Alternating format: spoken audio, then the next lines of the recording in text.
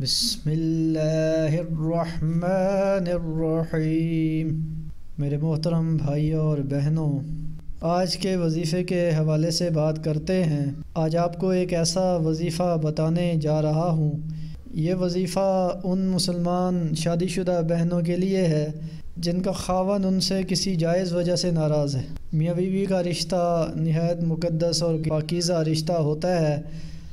اور آپس میں اکٹھے رہتے ہوئے بعض دفعہ ناچاکی بھی ہو جاتی ہے۔ تو آج کا وظیفہ اس حوالے سے ہے، لیکن اس میں صرف ایک شرط ہے کہ شوہر کی ناراضگی کسی جائز وجہ سے ہو تو یہ وظیفہ بہت جلدی اثر کرے گا۔ وہ وظیفہ ہے قرآن پاک کے دوسرے پارے کے اندر، چوتھے رقوع میں آپ کو یہ آیت مل جائے گی۔ آیت آپ کو پڑھ کے بھی سنا دیتا ہوں۔ اعوذ باللہ من الشیطان الرجیم۔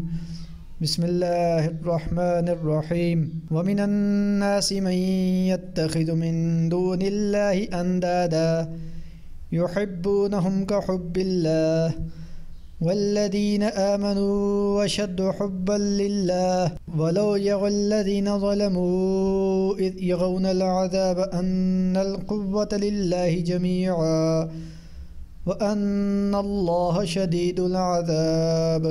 میری تمام بہنوں سے گزارش ہے کہ اس آیت کو صحیح تجوید کے ساتھ پڑھنا ہے۔ ہماری عادت ہے کہ ہم بچپن میں جیسے ہم نے قرآن پاک اپنے والدہ سے، والد سے، دادا سے یا کسی اور گھر کے بندے سے قرآن پاک سیکھ لیا، تو اسی طرح پڑھتے ہیں پنجابی کے اندر سرائکی کے اندر، اردو کے اندر۔ قرآن کی زبان عربی ہے۔ تو عربی زبان کے اندر، عربی لہجے کے اندر اس حروف کی صحیح ادائیگی کے ساتھ پڑھیں گے۔ تو یہ وظیفہ بہت جلدی اثر کرے گا۔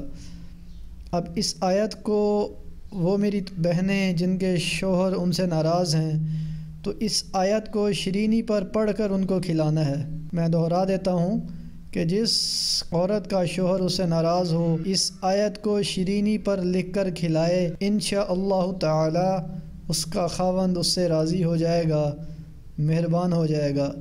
مگر آخر میں پھر کہہ دیتا ہوں کہ اس چیز کا اہتمام کرنا ہے کہ ناجائز، کسی بھی ناجائز صورت کے اندر اس وظیفے کو استعمال نہیں کرنا وگرنہ نقصان کے ذمہ دار آپ خود ہوں گے۔ اور آخری گزارش یہ ہے کہ ہمارے چینل کو سبسکرائب کیجیے، ہماری ویڈیوز کو لائک کیجیے اور بیل آئیکن پہ کلک کیجیے تاکہ ہماری ویڈیوز آپ کو بر وقت ملتی رہیں۔